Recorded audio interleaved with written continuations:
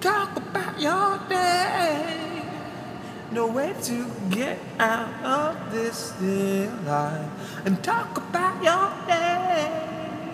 No way to get out of this life.